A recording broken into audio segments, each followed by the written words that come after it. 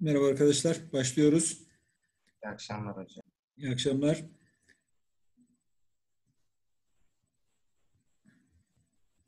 Evet, bu soruya ne diyorsunuz?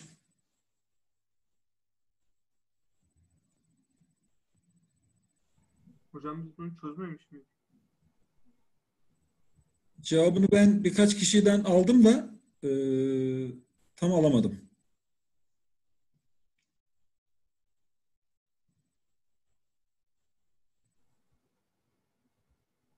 Herhalde bunun cevabı A'ydı. A mı demiştiniz? Evet hocam A dedik bunu ama bunu biz çözdük sanırım. Sanki yarım kaldı gibi geldi ben aklımda. Evet, A diyenler var. Cevabımız A. Hocam siz anlatacaktınız öyle kaldı öyle. Evet evet o şekilde kaldı. Ee, şimdi arkadaşlar çözelim bunu. Ne diyor bu sorumuz bize?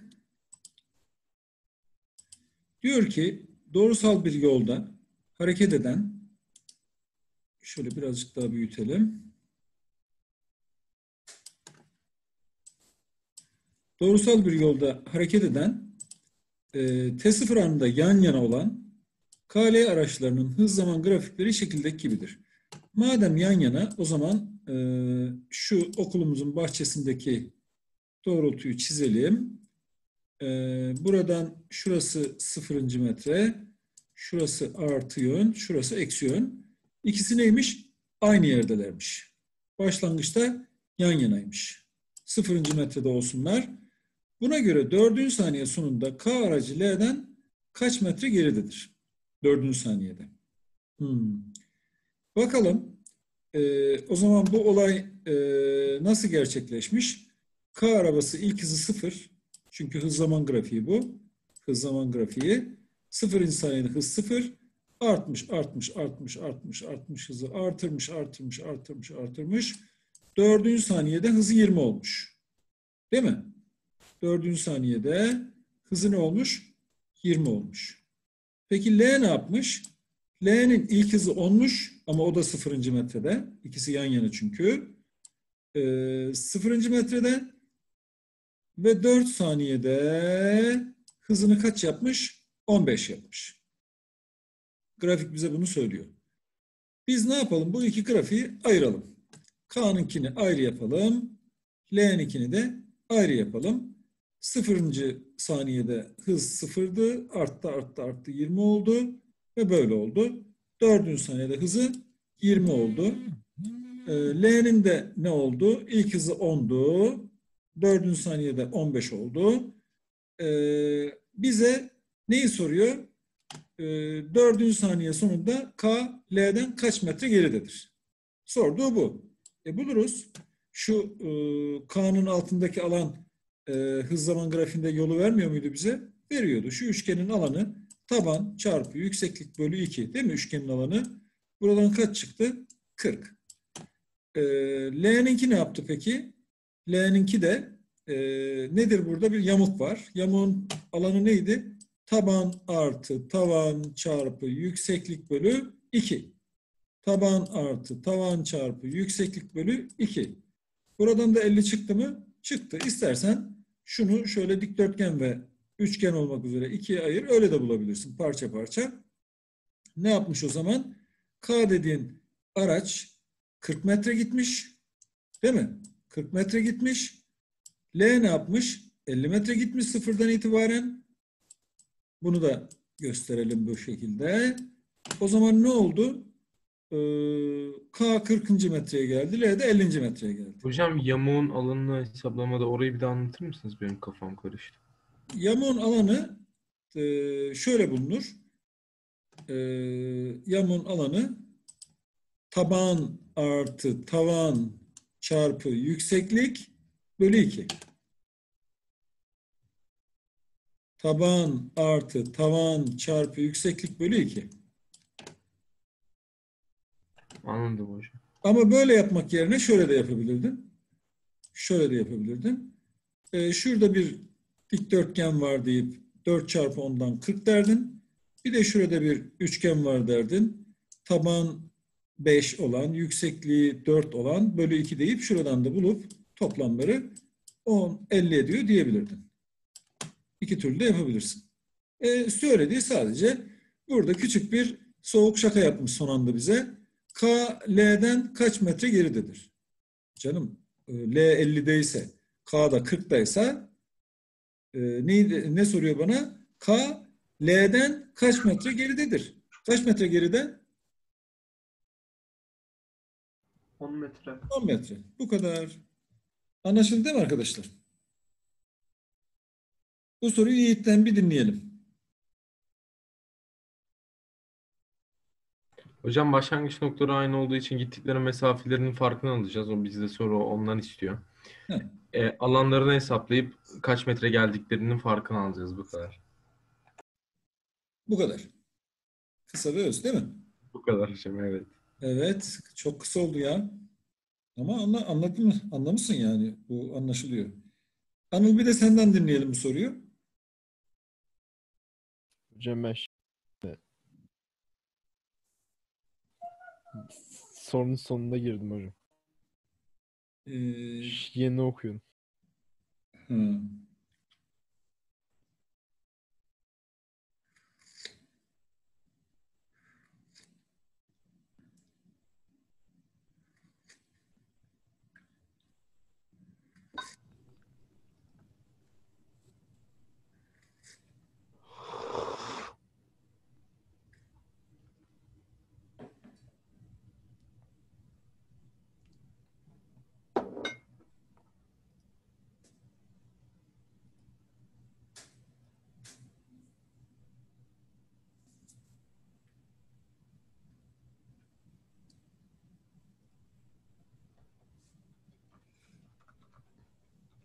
Tamam hocam okudum. Evet. Şimdi eee, ilk önce K'nın alanını buluyoruz. Hı. Eee 4 çarpı 20 bir de üçgen olduğundan bölü 2 eee, seks- şey 40 Ondan sonra L'nin alanını buluyoruz. Eee, orada iki tane şekle ayırmamız lazım. Ee, üçgen alanı 15 eksi 10 Ee, uzun kenarı şey pardon. Kısa kenarı 5 Yok, uzun kenarı 5 kısa kenarı 4 hocam. Çarpıyoruz. Ee, sonra 2'ye bölüyoruz üçgen olduğundan 10 sonra dikdörtgenin alanı için 10 ile 4'ü çarpıyoruz. 40. 40 artı 10 50. Ee, K aracının L'den uzaklığı için 50'den 40 çıkarıyoruz. 10. Bu kadar. Burada e, size şu türlü e, soruda e, değişik şeyler de sorulabilirdi. E, ya işte bu aracın 3. saniyede K ve L arasındaki uzaklık nedir diyebilirdi mesela. Ya da 10. saniyede aralarındaki uzaklık nedir gibi sorular sorabilirdi. E, zor bir şey değil değil mi? Yani bu grafik gördüğünüz gibi şuradan K'nın mesela grafiği ne yapmış? Buradan başlamış sonsuza kadar gidiyor aslında değil mi? Ama soru bizden neyini soruyor bunun? Sadece dördüncü saniyesini soruyor. Bir de L'ninkini yapayım. L'ninki de böyle başlamış, devam ediyor. Sayfa ne kadar götürüyorsa ne yapıyor? Böyle gidiyor. Değil mi? Sayfanın e, ekranın dışına da taşıyor aslında. Ama bizden soru ne istiyor? Sadece dördüncü saniye istiyor. Anladınız değil mi? Yani grafiğin devamı var ama maç dördüncü saniyede kesilmiş. Ama deseydik ki kardeş hadi bakalım üçüncü saniyeyi bir hesapla aralarındaki uzaklık nedir deseydi herhalde zor bir soru olmazdı. Ya da efendim 10. saniyedeki aralarındaki uzaklık nedir deseydi onu da herhalde yapmak zor olmazdı değil mi? Varsa bir sıkıntı söyleyin. Hocam ben bir şey sorabilir miyim? Sor. Eğer öyle deseydi hani normal formülle kullanabilirdik ama mesela oran orantısı yaparak da bulabilir miydik? Tabii İşte tabii iki, iki yoldan da 4 saniyede 10 metre ise 10 saniyede kaç metredir şeklinde. Ya o şekilde e, o şekilde e, K orantılı gidiyor. Onu yapabilirsin ama L'ye yapamazsın. Çünkü L'nin bir ilk izi var. Onun için L'de onu mantıklı yapman lazım. Çünkü. L'nin bir ilk izi var. E, yani bir ekmek 1 lira ise 5 ekmek 5 lira orantısını e, yaparsan burada olmaz L için. K için olur. K'da bir orantı var ama. L'nin bir ilk izi var. Yani ne yapacaksın? Bunların ivmelerini bulacaksın. İvmelerini bulduktan sonra e, gerisini bulursun. Değil mi? Evet. İlk hızları belli. Gerisini bulursun. Evet, e, bu ilave sorularda takılırım diyen varsa söylesin. Geçiyoruz. O zaman sayfa 141'e geldik. Haydi bakalım. Şimdi sayfa 141'deki 43'e ne diyorsunuz?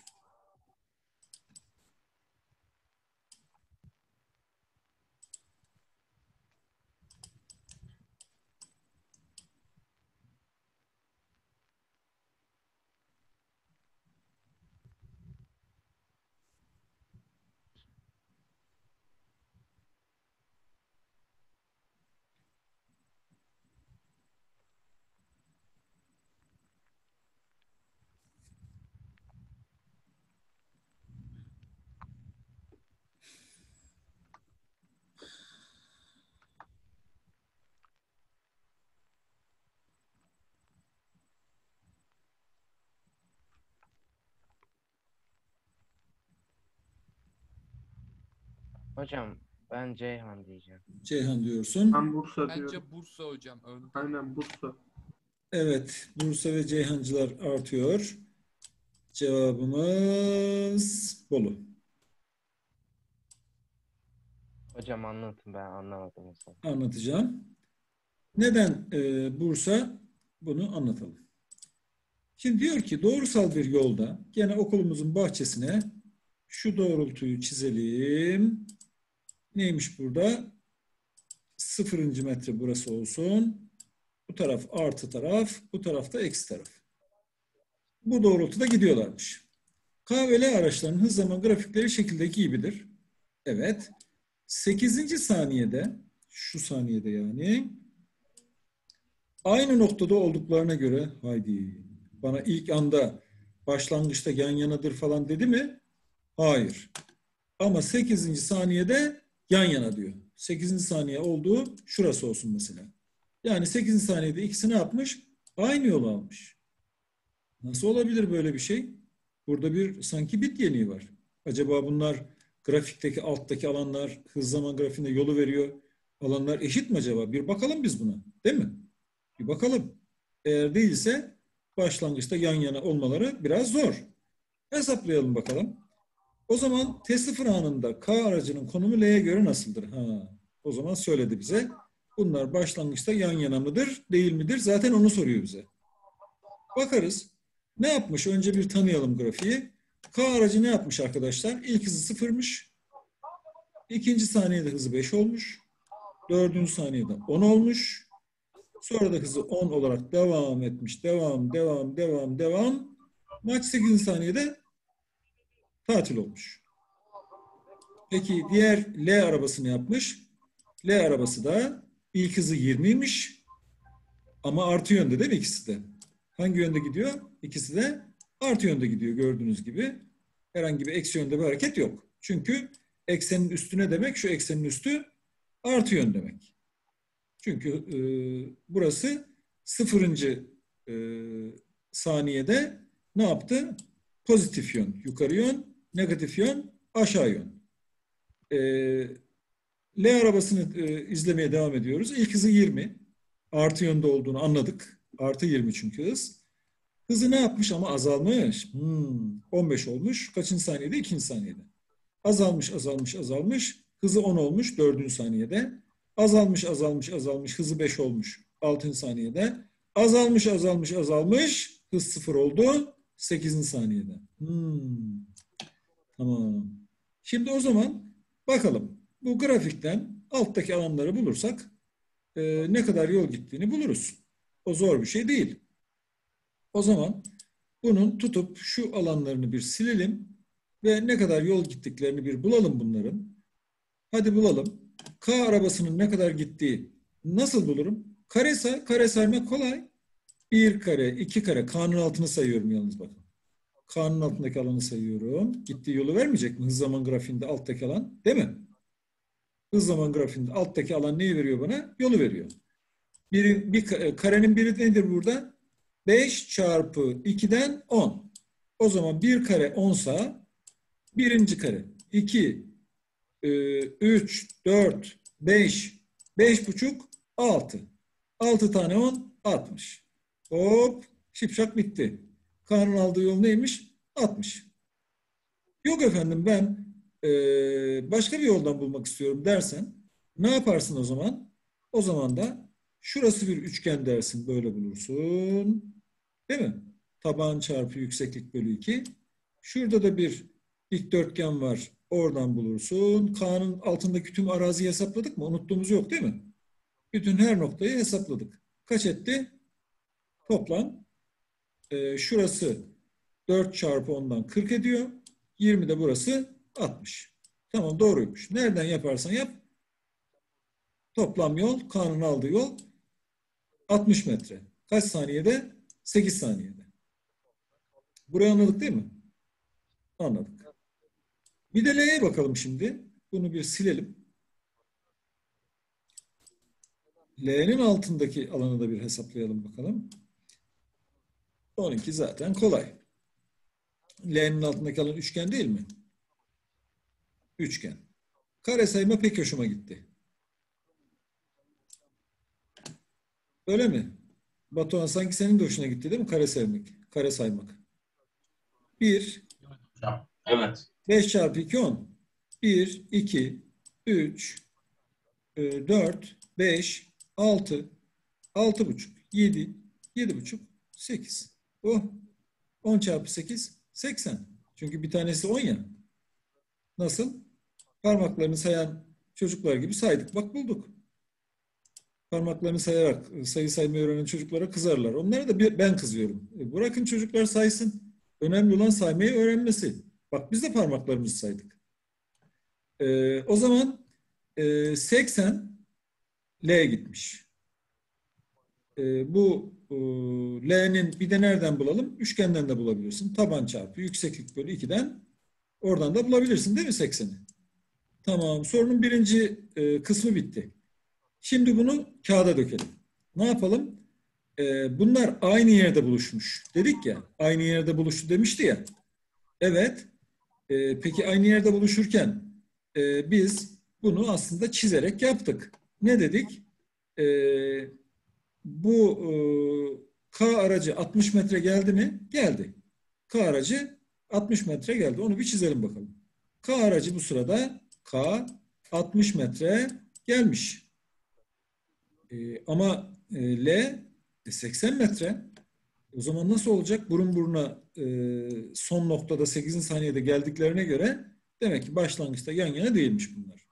Demek ki şu L toplam 80 olduğuna göre L'nin aldığı yol o zaman 60, 20 daha 80. Ha, demek ki L 20 metre geriden başlamış maça.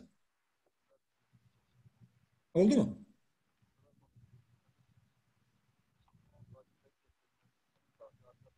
Oldu mu arkadaşlar?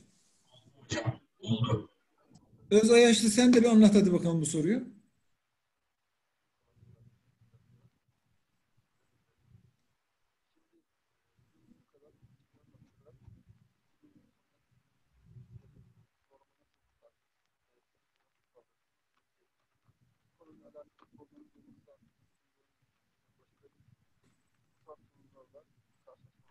Ahmet sesin çıkmıyor mu? O zaman diğer Ahmet anlatsın. Ahmet Hamza. Hocam duydunuz mu? Hocam. Evet. Haydi anlat Hocam bakalım. şimdi, e, şimdi doğrusal yolda hareket eden iki tane aracımız var. Evet.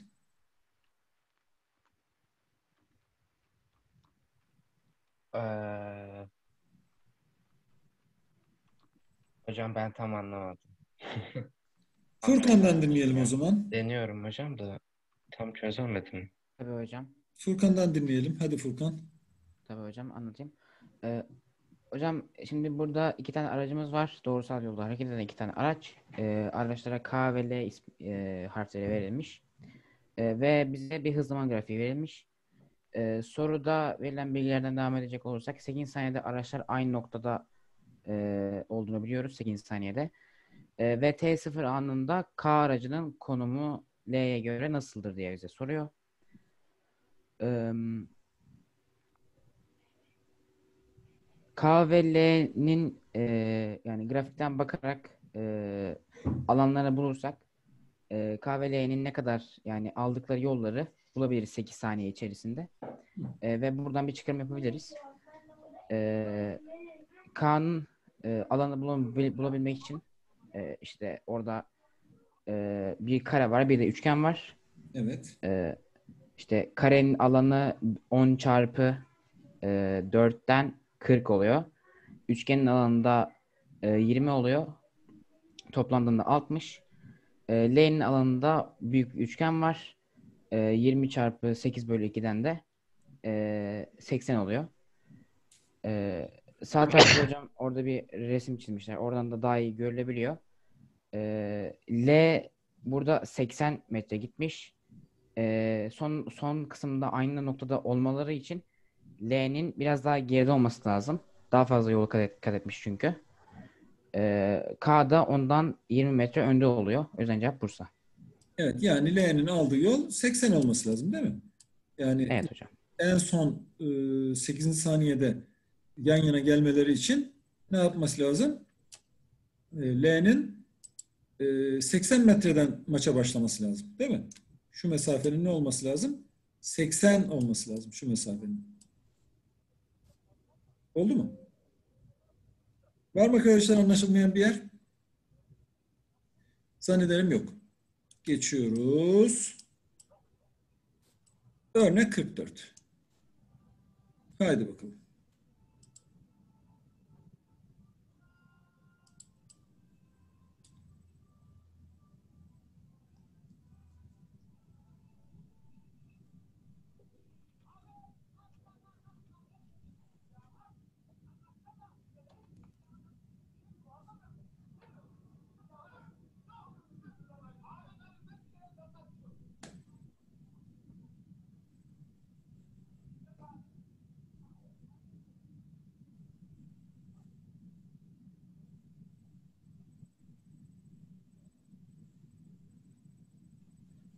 Hocam Bursa buldum.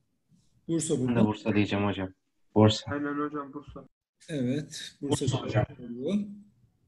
Bursacılar çoğalıyor. Başka ne diyorlar? Farklı söyleyen var mı? Yok hocam kimse farklı değil. Evet, Bursa cevabımız doğru. Ee, açıklayalım neden olduğunu. Hocam ben sadece küpleri saydım. Ee, arkadaşlar dikkat ederseniz burada çözümlerimiz, burada yaptığımız çözüm metinleri çok önemli. Yani buradaki çözüm metinleri bilimsel olarak bilmemiz gereken bir metin. Siz farklı yollardan da çözebilirsiniz ama buradaki metni anlamanızda aslında fayda var.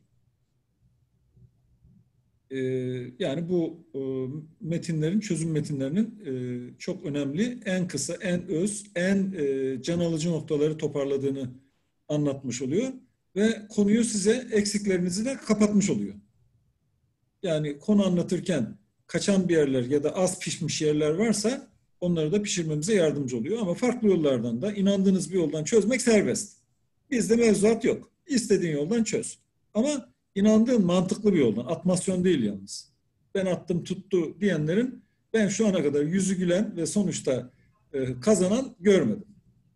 Onlar palavracı. Onlara inanmayın. Şimdi tutup burada sorumuzu e, anlayalım. Bu hız grafiği değil mi? Hız zaman. Bak rakam vermemiş. Bize hız zaman grafiği demiş ama vermiş aslında bir rakam. Ne demiş? Diyelim ki V eğer 3 ise bu da eksi 3'tür. Değil mi? Bir rakam. Bilmiyoruz ama şuna da birinci saniye, ikinci saniye, üçüncü saniye dersek buna da böyle bir aralıkta e, illa rakam bilmek zorunda değiliz. Ama diyor ki 3T saniye sürmüş bu maçta diyor. Ortalamanız nedir diyor. Neydi bizim bu ortalamamız kavramımız? Ortalamamız dediğimiz neydi? Arkadaş aynı yolu git. Aynı yolu git ve aynı sürede git ama sabit bir hızla git. Bu sabit hıza ne diyorduk biz? Ortalama hız diyorduk. Değil mi? Ya da bunu başka bir örnekle şöyle açıklayalım. Diyelim ki sen Ankara'dan İstanbul'a gidiyorsun. Ankara'dan İstanbul'a gidiyorsun. Diyelim ki şurası Ankara, şurası da İstanbul. Sen diyoruz ki bu vatandaşa, arkadaş aynı yolu git, aynı sürede git ama sabit bir hızla git. Bu sabit hızın adına biz ne diyoruz? Ortalama hız diyoruz. Yani yol aynı değil mi? Aynı kilometre. Süre de aynı, aynı saat. Ama sabit bir hızla gideceksin. Buna biz ortalama hız diyoruz. Ha, şimdi buradaki V bir rakam ama biz onun peşinde değiliz. Ama tabii hemen bazılarımız hemen şipşak açık göz gördüler. Dediler ki şuradaki şu alan eksi alan, eksi yol gidiş. Hız zaman grafiğinde çünkü alan yolu veriyordu. Şu alanda artı yol gidiş. Yani şurada geri giderek, burada da ileri giderek birbirini ne yapmış? Yok etmiş. O zaman o zaman yok ettiğine göre buraya boşuna emek sarf etmeme gerek yok. Değil mi? Gerek yok. Hop, hop. Değil mi? Grafik zaten bunu söylüyor. O zaman ne yapmış? Aldığı yolun tamamı şuradaki alan olmuş oluyor değil mi? İleri gitmiş yani sonuçta. Şu ilk aralıktaki geri gidişle şu aralıktaki ileri gidiş birbirini götürmüş. Yani şöyle oluyor. Sen 3 metre geri gittin, 3 metrede ileri gittin. Başlangıcı dönmedin mi dolayısıyla? Bunu şöyle söyleyeyim ya da şöyle söyleyeyim. Diyelim ki şuradan 5 metre geri gittin, sonra da 5 metre ileri gittin. Başlangıcı dönmedin mi o zaman? Ya da 10 metre geri gittin, 10 metre ileri gittin, başlangıcı döndün. 500 metre geri gittin, 500 metre ileri gittin. O zaman ne oldu? Başlangıcı döndün. Yani şu ilk ilk aralık, ilk iki aralık birbirini ne yaptı? Yok etti. Burada gitmemiş gibi oldu yani. Olduğu yerde kalmış gibi oldu. O zaman e, tüm alınan yol ne oldu? VT oldu. Değil mi? Yol, yol bu kadar oldu. Peki ne kadar sürede oldu bu iş? 3T sürede oldu. T'ler birbirini götürdü. Ve bölü 3 oldu. Bu kadar. Ortalamanız bu. Yani şu üç lafını atmasyon yazdım ben yani. Başka bir şey de yazabilirsin. Buna 100 yazarsan buna da eksi 100 yazacaksın. Buna 500 yazarsan buna da eksi 500 yazacaksın. Yani sonuçta V dediğimiz bir rakam var burada. Ama soru bize bunu söylememiş. Söylemek zorunda da değil. O rakam ama sorunun başına kadar 500 ise hep 500. 1000 ise 1000. 5 ise 5. 3 ise 3. Yani o söylenen rakam bölü 3 ortalaması. Oldu mu arkadaşlar? Bir pürüz var mı?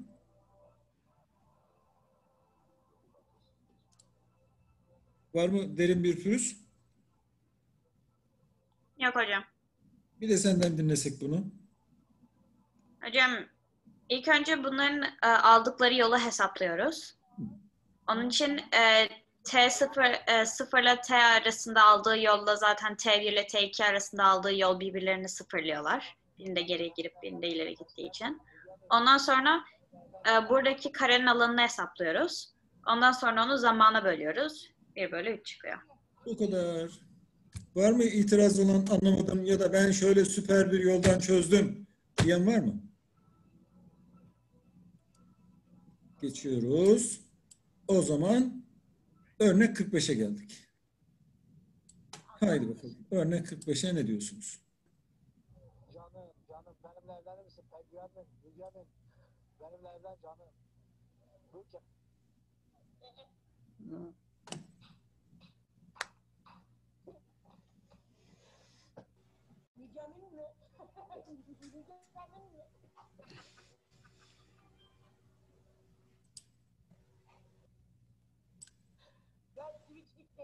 Hocam cevap verebilir miyim? Efendim? Cevap verebilir miyim Tabii, hocam? tabii bulan hemen söylesin. Hocam ben Denizli olduğunu düşünüyorum. Denizli olduğunu düşünüyorsun. Ben de Denizli. Denizli hocam. Denizli. Evet, denizliciler çoğalıyor. Denizli doğru cevap. Açıklayalım. Şimdi arkadaşlar neden Denizli burada? Cevabımız söyleyelim. Ee, cümleleri tabii ki çok iyi anlamak gerekiyor. Gene okulumuzun bahçesine çizdik hareket doğrultusunu. Sıfırdan artı yön, eksi yön dedik. Burada ne yapmış? Ee, hız zaman grafiğini vermiş soru bize. Bu grafikte hızın e, diyelim ki ilk hız kaç olsun? Diyelim ki 4 olsun. Eksi 4. Bu da o zaman artı 4 olmaz mı? Olur. Hız eksi 4 iken eksi 3, eksi 2, eksi 1, 0. Birinci saniyede hız 0 oldu. Nereye gitti ama? Hep geri gitti değil mi? Ne tarafa geri gitti? Geri gitti. Hep geri gitti. Sonra birinci saniye gelmiş olsun. Bu aldığı yolda e, ne kadarsa e, aynı miktar. Şimdi şu anda birinci saniyede hız sıfır oldu. E, hız ne yapıyor? Birinci saniyeden sonra artıyor, artıyor, artıyor. İleri gidiyor tabii ki değil mi?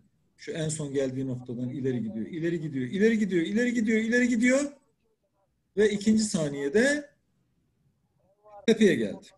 Ama bu tepe ne demek? Neyin tepesi bu? İkinci saniyede hız en büyük rakama ulaştı ve artı bir hız. Değil mi? Artı mahalledeyiz çünkü. Yukarı mahalle artı mahalle, aşağı mahalle eksi mahalle. Ee, burada e, 2t anında ikinci saniye dersek buna hız en büyük mü? Evet. Sonra ne oldu? Farkındaysanız şu anda e, ikinci saniyede şu aldığı yolla şu aldığı yol birbirini götürdü başlangıca döndü. Aa, öyle mi oldu? Evet. Başlangıca döndü ikinci saniyede. İlk aralıkta geri gitmiş, ikinci aralıkta ileri gitmiş. Geri gittiğiyle ileri gittiği birbirini götürdü ve ikinci saniyede başladığı sıfırıncı metreye döndü. Hmm, o zaman devam edelim. Ee, ikinci saniyeden üçüncü saniyeye giderken ne oluyor peki? Hızını azaltıyor, azaltıyor, azaltıyor. Tabii ki artı 3, artı 2, artı 1, 0 dedik. Hep artı yönde gitti. Ne oldu? Üçüncü saniyede hız sıfır oldu. Yani ne oldu? İleri gitti, gitti, gitti, gitti ve durdu. Hız sıfır oldu. Sıfır. Üçüncü saniyede hız sıfır. E, üçüncü saniyeden sonra e, ne yapmış? Yönünü eksiye çevirmiş. Eksiye çevirmiş. Şuradan devam edeyim. E, şuradaydık. Eksiye yönünü döndürmüş. Yani ne yapıyor? Eksi yöne doğru gidiyor. Değil mi? Eksi, eksi 2, eksi 3, eksi 4 hızını böyle söylersem e, yani eksi yönde hareket etti. Bu, bu demek bu. Yani ne oldu? Şu ileri gittiği mesafeyle şu geri gittiği mesafede alanda eşit olduğu için ne yaptı? En son başlangıca döndü. Ha, 4 Aralık'ta yol gitti ve burada 4 saniyedeki maç bitti. Bize ama neyi soruyor? Biz şunu biliyoruz ki bunun ilk aralıkta diyelim ki eksi 10 metre geri gittiyse ikinci aralıkta da artı 10 metre ileri gitti. Yani iki T'de başlangıca döndü. Şu aralıkta bir 10 metre daha ileri gitti. Bu 10 metre lafını uydurdum. Sallamasyon. İstediğiniz rakamı alabilirsiniz. Yani bütün aralıklar eşit olduğu için 10 metre geri gittiyse 10 metre ileri gitti. Burada da 10 metre ileri gitti. Burada da 10 metre geri gitti. Dolayısıyla e, aldığı e, eksi mahalleye gittiği yollarla ileri ma- mahalleye gittiği yollar eşit olduğu için ne oldu? Sonuçta sıfırıncı saniyedeki başlangıç noktasına döndü. Bu da oldu mu? Oldu. Tabii ki soruda sadece ne yapıyor? Bir yönünü soruyor bize. Bütün yönlerini sormuyor. Aslında soruda birçok yön var. O yönleri tek tek sormuyor bize. Can alıcı bir tane noktayı soruyor. Ne soruyor bize? Araç hangi zaman aralıklarında T0 anındaki konumuna yaklaşmaktadır diyor. Çözüm sırasında bu cevabını aslında ben verdim değil mi? Hangi aralıklarda sıfır noktasına e, yaklaştı? Şu sıfır noktasına yaklaştı. Ne zamanlar yaklaştı? Şunda yaklaştı. Bir de bunda yaklaştı değil mi? Dikkat ederseniz anlatırken bu masalı anlatırken bu aralıklarda bu cümleleri söyledim. Oldu mu? Anlaşıldı mı arkadaşlar? Var mı anlaşılmayan bir yer? Yok hocam. Yok. Bir de Meryem'den Hocam bunu. ben bir şey anlamadım. Ee, söyle Ahmet. Hocam e, üçgen sayma kuralı her şekilde işe yarıyor değil mi? Bir daha sor. E, hani biz e, şey alanları sayıyoruz ya. Evet. O her şekilde işe yarıyor değil mi? Tabii ki sayı yarar. Ama Yalnız burada Sadece sayarken zaman grafiklerinde değil mi hocam? ta- e, yani hız zaman grafiği için söylüyorum tabii ki. E, şimdi burada Ahmet şöyle. Şimdi şu alan e, tabanı bir, yüksekliği de V olan e, bir e, üçgen değil mi? Evet hocam. Şunun alanıyla şunun alanının eşit olduğu rakamlarla ispatlı değil mi? Belli değil mi? Evet hocam. Şu eksi bir alan, şu da artı bir alan birbirini götürdü. Nötrlerine. Sonra kırmızı kaleme geçeyim. Şuradaki artı alanla şuradaki eksi alan eşit mi? Eşit. Ama bu ileri gidiş, bu da geri gidiş olduğu için birbirini götürdü. Sonuçta başladı. Buraya eşit oldu. O şekilde yani. Alan sayı bilinçli sayıyoruz. Bilinçli. Tamamdır. Yani o alanların metrekarelerin eşit olduğu, metrekarelerinin eşit olduğu gayet açık ispatlı. İspatlı olmadığı şekillerde mesela burada üçgen şekline benzer bir şekil verilmiş. Bir yamuk gibi bir şey verilseydi İster yamuk versin, ister değil mi? başka bir şey versin. Ee, yani alanları aynen ölçülü bir şekilde soruda sana verir. Kareli verdiyse dikkat ettiysen karelilerde kare saydık. Ama hocam. kare vermeyip de başka şekiller verdiyse de onları da parçalar bölersin. Artı mahalledeyse ileri gidişi verir. Eksi mahallede geri gidişi verir. Onun alanın büyüklüğünü mutlaka sana verir bir şekilde. Mutlaka. Tamam hocam. Tamamdır. Yani sana tuzak hazırlamaz. Sen rahat ol. Tamam hocam. Tamamdır. Evet, fizik seni seviyor. Ee, Sana tuzak hazırlamaz. Sen korkma. Evet, e, bu soruyu da geçelim mi arkadaşlar? Meryem anlatacaktı değil mi?